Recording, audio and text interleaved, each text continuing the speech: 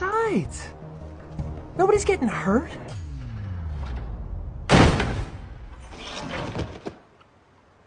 That guy was already up there when I got here.